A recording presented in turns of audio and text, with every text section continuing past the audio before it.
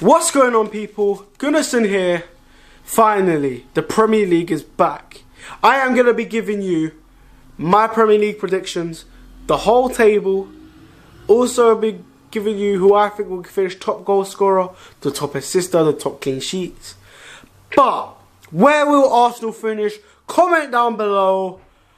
Because that is what I'm going to reveal at the very end. My opinion on where Arsenal will finish. So, I'm going to give you the rundown of the table. Make sure you like the video and you subscribe. Let's go! Starting from 20th, I feel Fulham will finish there. 19th will belong to Crystal Palace. 18th will belong to West Brom. 17th goes to Aston Villa. And 16th will go to West Ham.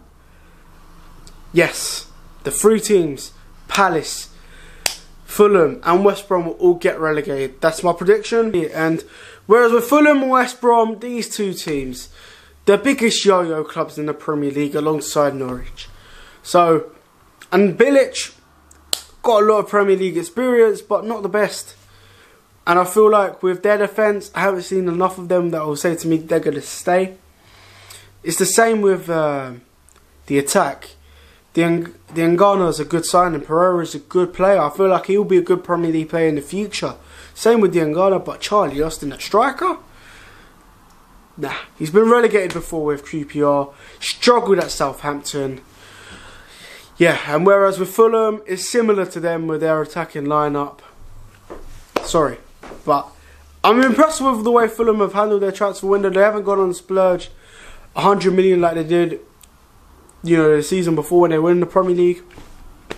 And I look at Aston Villa as a side that will get going. I do have faith in Wesley and Samatta to actually get some goals in. And I feel like Grealish, especially if he stays, he'll improve and he'll get better. And he'll keep Villa up again. I like the look of uh, John McGinn as well. He'll have a full season. Douglas Luiz, a talented footballer. Tyrone Mings will get better. And I've seen more of them as the other three teams. So, yes. West Ham, you know what? The reason why I, feel like they'll finish 16th is because of literal West Ham fans. The ownership between the club, the way they're buying players out of nowhere without the research they've done. And the fact that West Ham fans just don't believe in their team, I think they'll finish 16th. Uh, whereas with Brighton, they'll finish 15th in my opinion. Newcastle made a brilliant uh, window so far with the signings of Wilson and Ryan Fraser. Those two players together are quality. And I feel like they'll help him along with Saint Maximin. Oof! But the defence and the midfield, oh, I don't know. But they will finish 14th. The 13th place will go to Sheffield United. 12th will go to Leeds United. Look, they are a decent team. They sorted out their striker issue. I think Bamford is a championship striker at best. And they've gone out and bought Rodrigo. Pace, aggression, work rate. He's got all of that. And he will get grab a few goals as well. But I feel like they'll get burnt out towards the end of the season.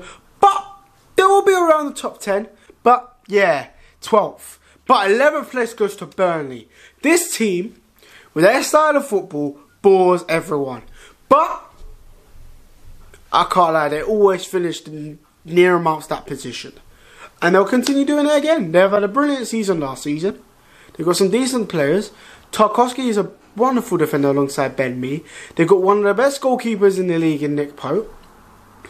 And their goal scorer, Jay Rodriguez, Jay Rodriguez and Chris Wood are decent. Dwight McNeil, they've kept him. He's going to get better and better with his set pieces and his passes. And yeah, I feel like they're 11th. But 10th, this is where it gets crazy. 10th will go to Ralph Hasenhuttl, Has, Ralph Hasenhuttl with Southampton. Look, Danny Ings has done brilliantly for them. I feel like that they do need to improve their midfield a little bit with Højbjerg leaving to Spurs. But the defence looking really good. But the attack is where it impresses me. And the management of Ralph, Ralph Hasenhuttl, he's just going to get better and better.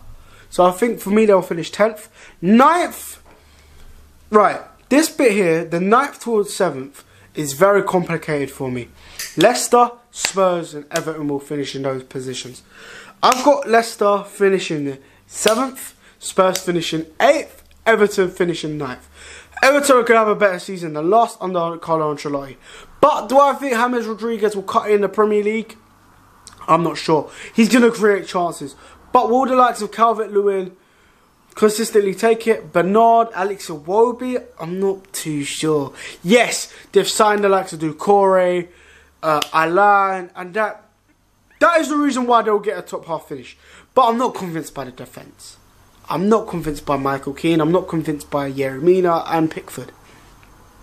But they're a club that always looks to finish 6th, 7th, 8th, but always fails to make it. That's why they're going to finish where they are. As for Spurs, Mourinho, it's a tricky one. A lot of people think they'll finish top 4. A lot of Spurs fans, West Ham fans, even so. And they made some very good signings with Højbjerg, a proven Premier League talent, and Doherty, one of the best fullbacks in the league. But I'm just not sure. I'm not sure. They haven't replaced Eriksen for me. Lo Celso, good player, but I think he'll struggle. Harry Kane, very injury prone. That's my full reason. I do believe they will win a trophy. I do think that Mourinho will take Carabao Cup very seriously, and I think they might just nick it. But they'll finish eighth.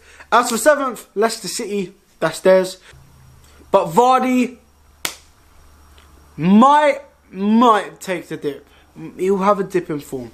But regardless, I think Maddison will get some goals and assists providing he gets back from injury.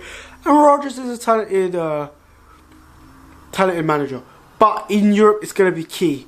If they improve their strength and depth like they got with Pryor and Tielemans, fair enough. But they need a striker. If they don't get a striker, they will struggle.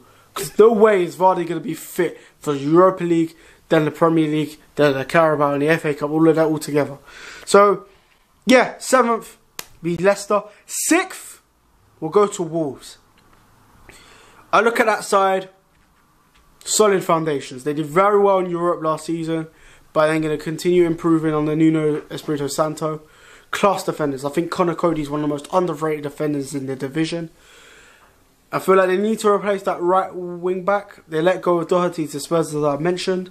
But they're looking very good. Class midfielders in Moutinho, Neves. But the main focus for me is their attacker Jota, Jimenez, Podence, the striker they got from Porto, and the main man himself, Adama Traore. These players are going to get better and better under Wolves manager Nuno Espirito Santo. They keep improving, and they're linked with Alex Telles. And for me, this guy will storm the Premier League, and that is why I feel like they'll finish sixth. But now, this is where it gets crazy. Who's going to finish the top four? Who's going to miss out? I'm going to go through who I think will win the league. Starting at the top, as we finished it sixth, Manchester City. Bigger strength and depth in terms against Liverpool.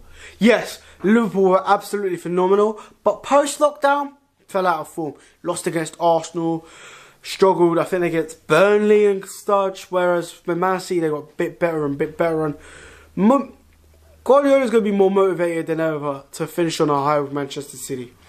And Kevin De Bruyne is going to get better and better. He's going to finish the top assister for me. But yeah, Man City over Liverpool. Just because of the strength in depth. I don't think that Liverpool will cool off and finish like third and fourth. I feel like Liverpool will reach the heights they did the season before last. But I think Manchester City with Sterling, Foden, um, providing Aguero is fully fit, yeah, Jesus, Bernardo, and they signed Ake as well. So they got some top class players. They get Kalidou Koulibaly. That's it for me. I feel like he'll be the best defender in the league alongside Van Dijk and Laporte. So yeah. Right. Chelsea will finish third. Reason being, the reason being, Kai Havertz, Timo Werner, Hakim Ziyech. Those three signings alone will take Chelsea to the next level. They're going to have a lot of games where they're going to concede goals, but they're going to score a ton of goals as well with Ziyech taking corners. Ooh! oh, class, baller. But Havertz is going to be that goal scoring midfielder they needed. And Werner's going to be that top. He might be the top goal scorer in the Premier League, you know. Him, Aubameyang, Salah, Mane. All of these four players have to be looked out for. And Heung-min Yeah, those top five players will be in it. Um, but yeah. And then finally, where will Arsenal and United finish? Fourth or fifth? Fourth or fifth? Sorry, United. Even though Van der Beek is a class player and they got a decent defence, I don't trust Ole Gunnar Solskjaer. I don't trust him. And I feel like with Martial, he's going to be very inconsistent again. So yeah, I'm going to put it out there. Providing that Aubameyang signs a new deal, providing that Arsenal do get Aouar and uh, Partey over the line, one of those two players, we let go of a couple of Deadwood. I have full faith in Mikel Arteta to finish us in the top four. I look at the way we finished the league, not the best. But the way we won the FA Cup, the way we claimed the Community Shield, shows massive signs of potential under Mihefe, Mikel Arteta. Mikel Arteta is the Mbappe of management football right now. Very young. Very young manager. He's not even 40 yet. Already won the FA Cup. And this guy's going to be drilled. We're signing like Gabriel Magalhaes. Ceballos re-signed on loan. Saliba's come back. But we also made a big signing in Willian. Underrated at Chelsea. But yeah, Magalhaes, Ceballos, and Willian are three key players that are going to help us in the season. And um, that's it. Okay, now I've given you my Premier League table. Time to give you the top goal scorer, the top assister, and who's going to win what. So, top goal scorer for me, I'm always going to say it, Pierre-Emerick Aubameyang. If he wasn't banned for those three games for that little reckless challenge in Palace, he would have been top goal scorer. Facts. He was a goal off of Vardy, which is a shame. But he'll get it. He'll get it. I don't think Kane and Aguero are match fit to go through 38 games a season as Aubameyang is. But I do feel like Werner will get up there and catch up with him. I feel that that will be a massive fight. Who's going to get that? The Golden Glove was won by Nick Pope last season. But I actually think that um, Manchester City will get it. Yeah, if especially if they sign Kalidou Koulibaly. I think Man City will get the Golden Glove with Ederson. Uh, the Champions League winner, I'll say this after I go through the top assister, De Bruyne.